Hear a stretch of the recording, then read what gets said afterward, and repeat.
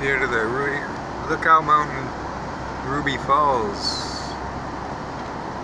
Where's the falls? We gotta hike? Like everything else, so it's all closed off. Coronavirus. Boo.